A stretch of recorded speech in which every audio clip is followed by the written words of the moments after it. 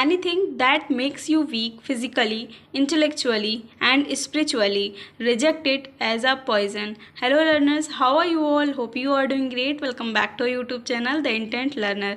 This is the 50th part of our synonym series.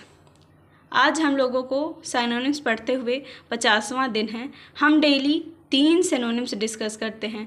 उस हिसाब से आज से हमारे डेढ़ सौ सिनोनिम्स कंप्लीट हो जाएँगे। डेढ़ सौ वर्ड्स के हमने सिनोनिम्स पढ़े हैं।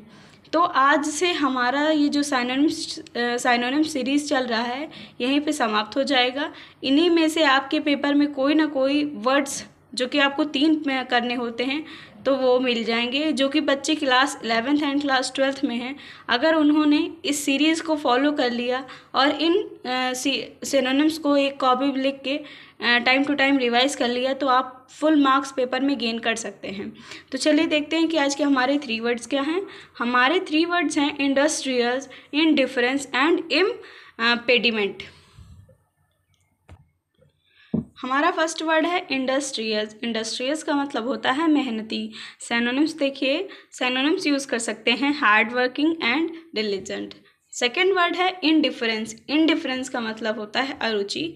और आप इसके लिए सिनोनिम्स यूज़ कर सकते हैं apathy and unconcern third word है इम्पेडिमेंट इम्पेडिमेंट का मतलब होता है रुकावट और आप इसके लिए सिनोनिम्स यूज़ कर सकते हैं hindrance obstacle and obstruction before ending the video I would like to suggest all of you अगर आप लोगों को और भी सिनोनिम्स वर्ड जो कि आप लोगों को चाहिए होंगे तो आप हमको कमेंट बॉक्स में बता दीजिएगा तो उनके भी हम सिनोनिम्स आपको बता देंगे। ये सीरीज़ कंटिन्यू कर लेंगे।